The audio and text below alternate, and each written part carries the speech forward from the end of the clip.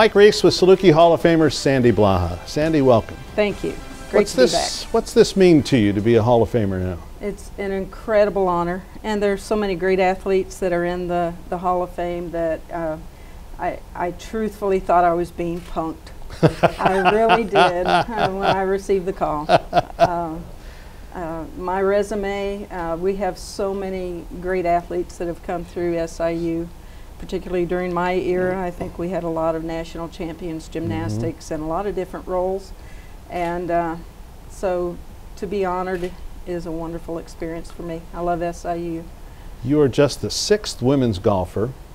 You competed in the mid 70s. Did yes. you think, you know what, it's been so long, uh, maybe the Hall of Fame is not going to be possible and I've been forgotten? Actually, I did. Mm -hmm. uh, it was a time when women's athletics was changing. Uh, 1970 to 74, I was involved in the intercollegiate side as an undergraduate. And Title IX, of course, occurred in 1972. So uh, there were a lot of changes that were going on at the time. Women's athletics was, uh, not to say under budgeted, but perhaps a little bit slim in, in our budget. So um, we had a, a good team. Uh, we had a good uh, I think, uh, golf team at the time.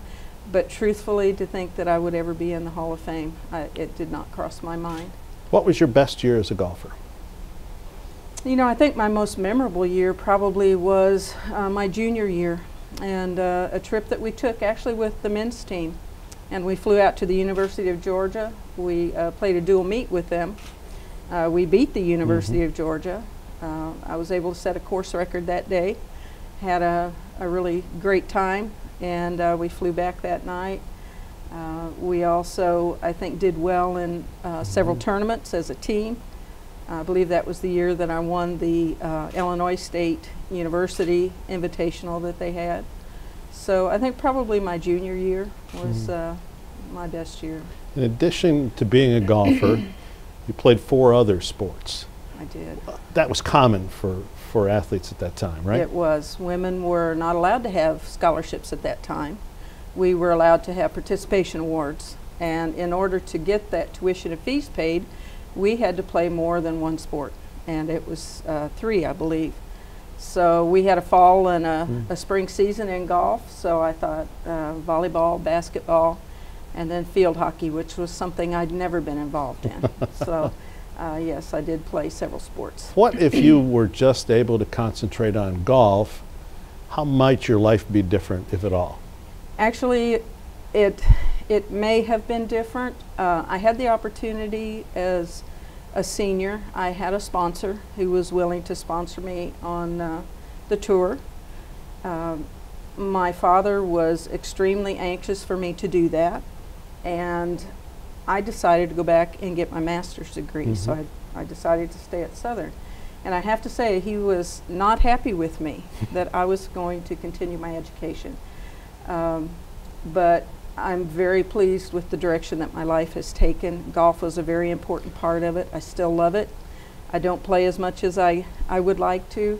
Uh, but I also don't think that I had that passion, you know, to mm -hmm. go mm-hmm. ahead and, and travel. I'm I'm a homebody. I, I love to play competitive golf and would still do it now, but uh, I'm happy with the way my life turned out. You became an assistant coach right after you finished playing, then yes. later the head coach within a couple years. What was it like to coach the team you played for so soon after you played? It was a little difficult. Yeah. Uh, it's always difficult when you're trying to move into a role that is a head role when you've uh, worked with your peers uh, and been on the team with them. So there were some difficulties just because of the personalities, and it was a little bit of a difficult situation. Uh, but I was able to recruit a couple of good, uh, actually players at that time. Sandy Lemon, who I believe yes. is in the Hall yes. of Fame, mm -hmm. uh, was uh, my first recruit that I was uh, truly proud to, to get. So um, after a couple of the teammates that I had been members with uh, were gone and graduated, became a little bit easier for me. It was just a mm -hmm. difficult transition when you're a teammate one day sure. and a head coach the next. But Congratulations. Well, thank you. Thanks for the time. It. You're welcome. Saluki Hall of Famer, Sandy Blaha.